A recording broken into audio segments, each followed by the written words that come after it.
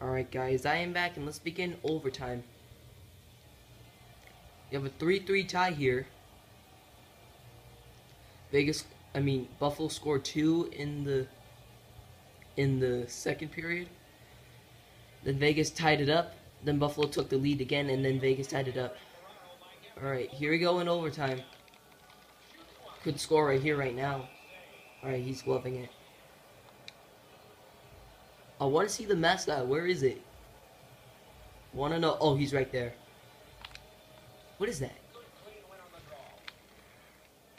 Look, I know there's a lot of animals with. Oh, it's in. There we go. A 4-3 overtime win.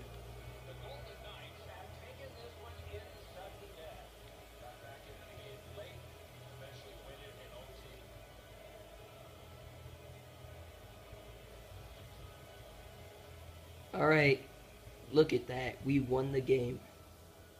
A 4-3 overtime win. Look, boom, right there. Let's go. William Karlsson.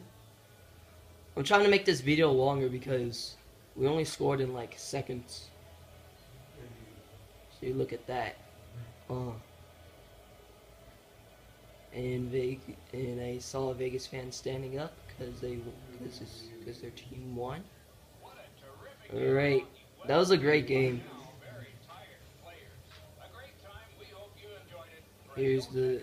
Is this?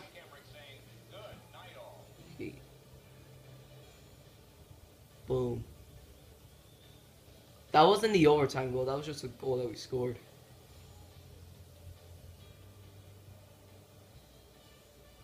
And this is the overtime winner right there.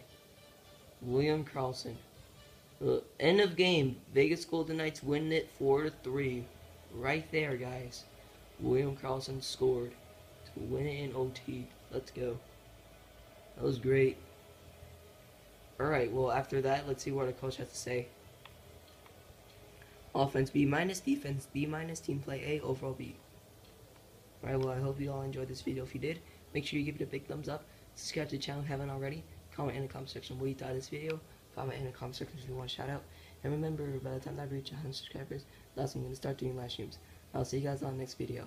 Goodbye.